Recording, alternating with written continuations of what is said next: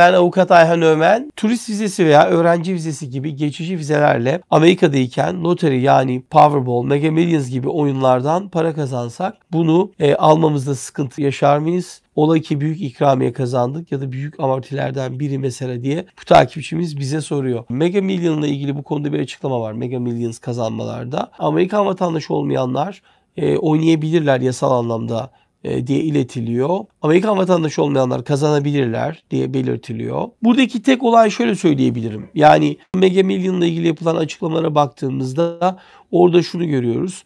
İlla Amerikan vatandaşı olmanızı gerektiren bir durum görünmüyor. Dolayısıyla eğer Amerikan vatandaşı olmayarak oyun oynuyorsanız evet burada oyun oynamanızda bir engel yok. Sadece şu durum önemli oluyor. Siz Amerikan vatandaşı olmadığınız için kazancınızı elde ederken o zaman size kazanılan para verilirken vergisi alınıyor. Yani dolayısıyla vatandaş olmadığınız için, Amerikan vatandaşı olmadığınız için vergi ödeme durumunuzda e, mümkün olmayacağını düşünerek dolayısıyla size verilecek vergiyi baştan kesilip size parayı o şekilde kalan miktarı o şekilde iade ediyorlar. Yoksa onun dışında bir engel görünmüyor deyip bu değerli takipçimizin sorusunu cevaplamış olalım.